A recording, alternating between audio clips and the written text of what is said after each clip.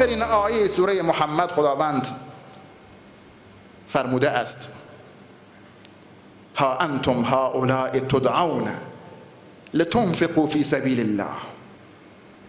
خطابی عجیب در این آیه قرآن به چشم می‌خورد. خطابی تکان دهنده که چارچوب بدن انسان را میلرزاند. ها انتم هؤلاء تدعون لتنفقوا فی سبیل الله. همین شما مؤمنان دعوت می‌شوید که در راه خدا انفاق کنید خرج کنید هزینه کنید برای دین خدا. فمنکم من یبخل بعضی از شما بخل میورزد.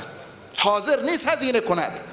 حاضر نیست ریالی برای دین خدا از جیب خودش خرج بکند. می‌خواهد همیشه دیگران برایش هزینه کنند. و من یبخل فانما یبخل عن نفسه. بدانید اون کسی که بخل میورزد دارد در حق خودش بخل میورزد. از خودش دارد منع می‌کند در حق خودش بخل میورزد. این بخیلی در حق خود هست. والله الغنی و انتم الفقراء.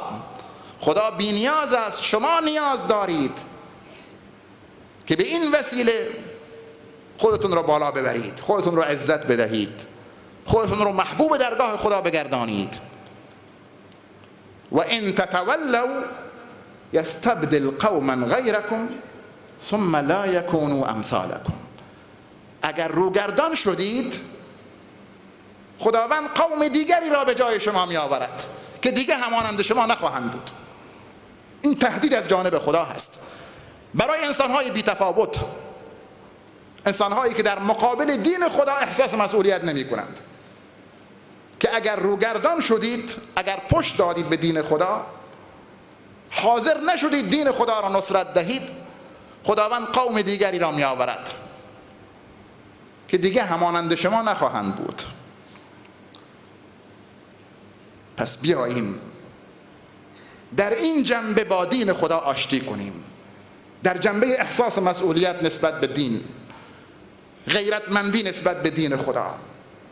و بی تفاوت نبودن در قبال دین. چون خدا ما را انتخاب کرده است.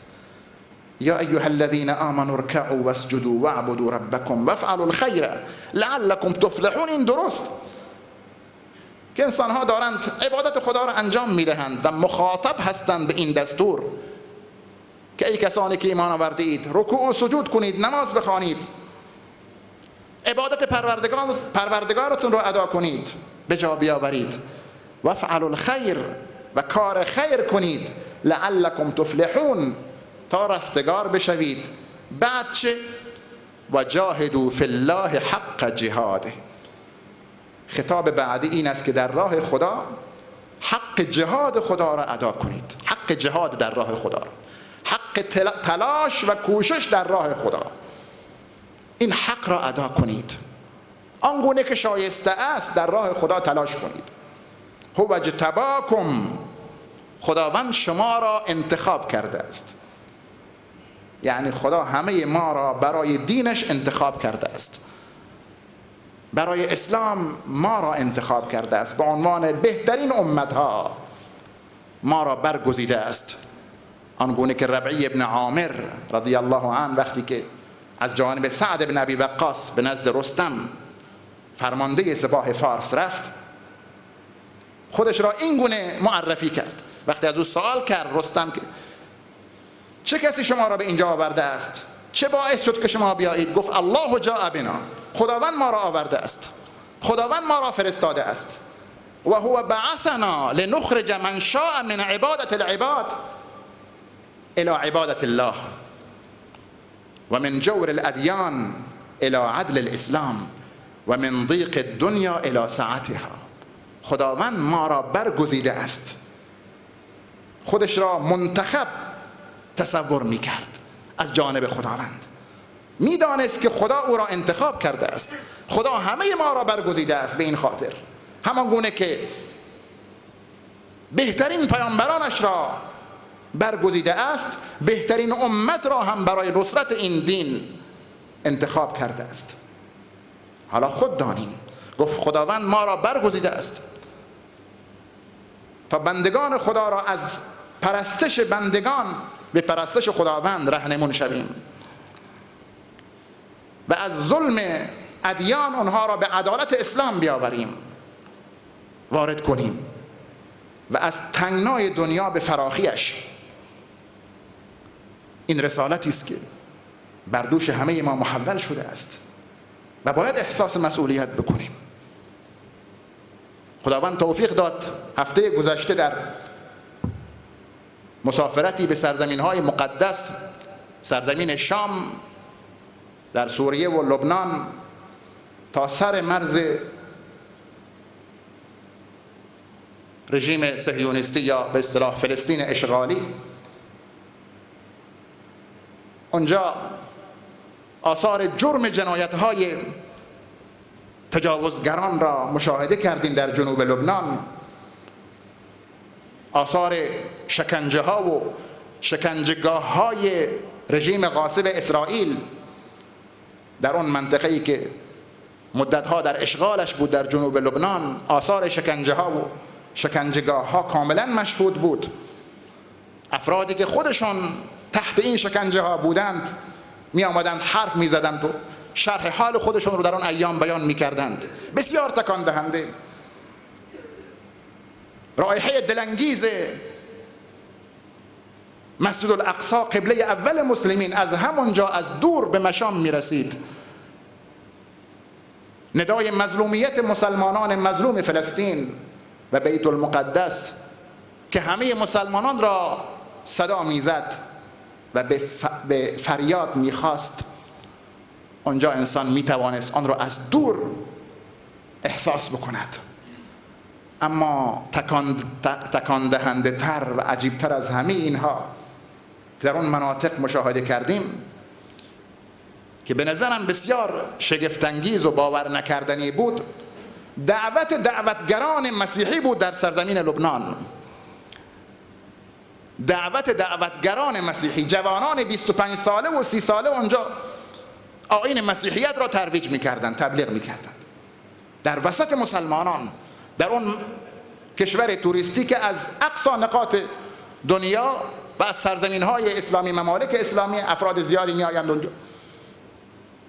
برای سیاحت به آنجا می آیند جوانی را مشاهده کردیم. کتاب به دست جزوه به دست ایستاده بودند. جزوه ها و کتاب هایی را توضیح می کردند اول فکر کردیم مسلمانانند. وقتی نزدیک شدیم در شهر بیروت این جوانان کاملا انسان می‌تواند آنها را مشاهده بکند. دیدیم جوانانی هستند قیافهشون به مسلمانان نمی‌خورد. دیدیم جزوه ها و کتاب های مسیحیت را دارن توضیح می کنند سوال کردیم به زبان عربی به زبان عربی جواب دادند. یکی به زبان فارسی حرفی زد به زبان فارسی جواب داد. سوال کردیم شما از کجا هستید؟ گفتن ما از آمریکا آمده ایم جوان مسیحی آمریکایی مسلط به زبان عربی و فارسی.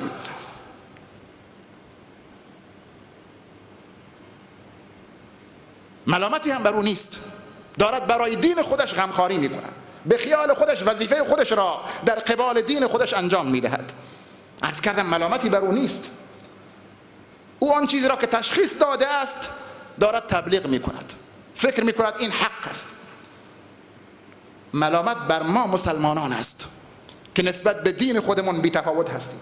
بر مسلمانانی که به جای اینکه تأثیر بگذارند تأثیر میپذیرند. به جای اینکه دعوت کنند دعوت می‌شوند. بله.